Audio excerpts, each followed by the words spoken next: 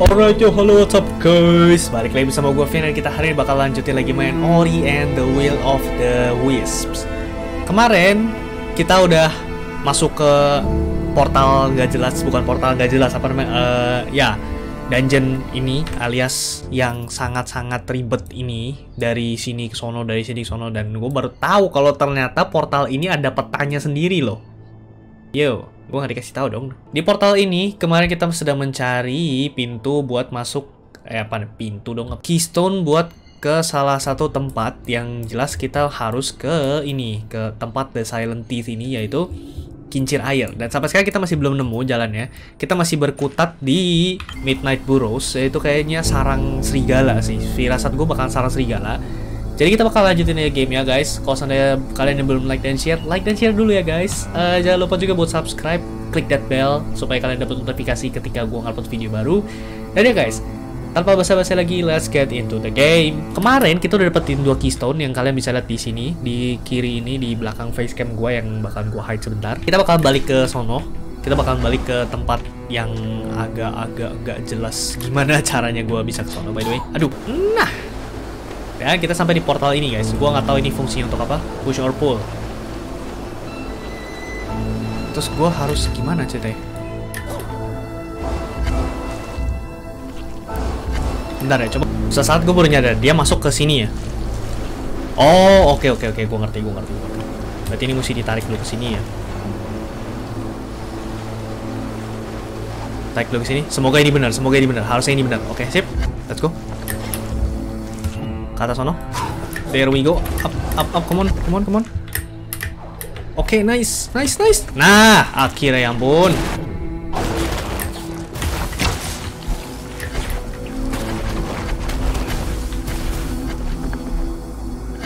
Terus fungsinya ini gimana dong ceritanya? Oke, akhirnya kita udah masuk ke sini ya guys. Nah itu ada satu keystone lagi yang kayaknya kita bakalan ke sono juga. Tapi kita bakalan pelan-pelan aja guys. Kita manfaatin long double jump kita kayak tadi. Oke, nah. Nah, dapet dong akhirnya.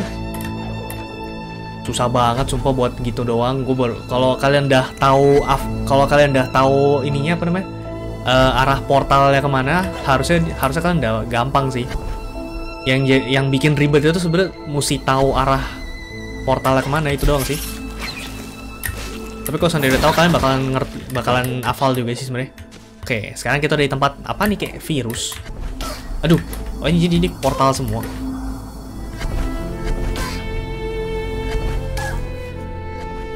Susah amat kosan. Ya mati dong gue. Oke nice. Ala nih satu juga sama aja anjir. Mati dong please. Oke, sip. Nah, keystone keempat akhirnya dapat. Akhirnya dapat empat keystone dong kita setelah dari tadi kayak ya ampun ya ampun. Pegel banget sumpah mikirnya. Uh, di sini kalau nggak salah ada laba-laba deh. Ya kan bener kan ada laba-laba. Nah. Aduh. Alah. Hampir modar dong gua. Nah akhirnya keystone udah kelar guys. Akhirnya 4 keystone ya ampun. Oke udah 4 nice. Buka pintunya. Ampun dah. Puyang buat? Cuma buat gitu doang. Oke apa ini? Curious tablet, you found a new quest item, it is covered in with strange markings. Oke, itu bakalan kita pakai buat ke si buat kita kasih ke si Tok ya. Astaga Tok, kamu bikin bikin masalah aja sih sebenarnya tuh kita mau ketemu dengan si Tok, tapi sebelumnya kita restore energi dulu karena ya kita sekarat cuma gara-gara muter-muter di sini doang guys. Evade gue emang cacat. Untung gue main ini easy by the way. Sumpah demi Allah ini pegel banget sih main ini. Nah, akhirnya kita bisa berbicara dengan Tok. Cuma buat dapetin batu gitu doang guys. Segitu ribet. Sumpah 18 menit cuma buat muter-muter gitu doang. Are you back and is that a tablet you have there? I see. It's a guide to reading the stones. Would have been nice to have this before. Wait, never mind. It's written backwards. Well, that's useless. Ah, panik. Giant spirit light container. Can be traded to various creatures. Udah gitu doang. Side quest completed. Jadi kita dari tadi cuma ngerjain side quest doang guys, bukan bukan main quest dong. Ya ampun, ya ampun. Bikin capek capek hati gak sih sebenarnya? Oke lah, next apa apa lagi sih sekarang yang bakalan kita lewati ini?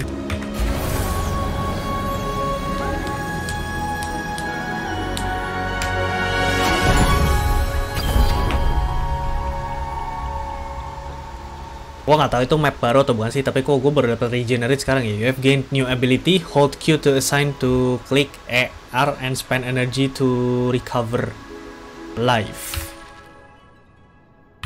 Oke sih nggak begitu penting ya. Ini gue bingung sebenarnya sebenarnya kita tuh harus ke mana sih sebenarnya di sini nih? Atau ada jalan baru? Ah iya ya ampun kita ada jalan dari tadi sih dan kita nggak nyadar. Oke lah guys, kita lanjutin aja dari sini. Nah, nice. Oke, aduh, ya ampun duri lagi dong. Teman bahasa ada duri di sini, ya ampun. Oke, let's go.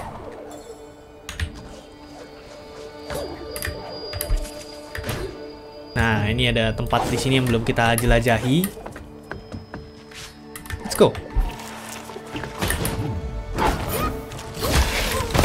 Alalala, aduh, kena ini lagi. Mati dong gua.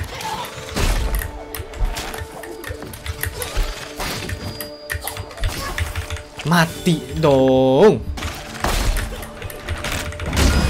Mati dia. Nice.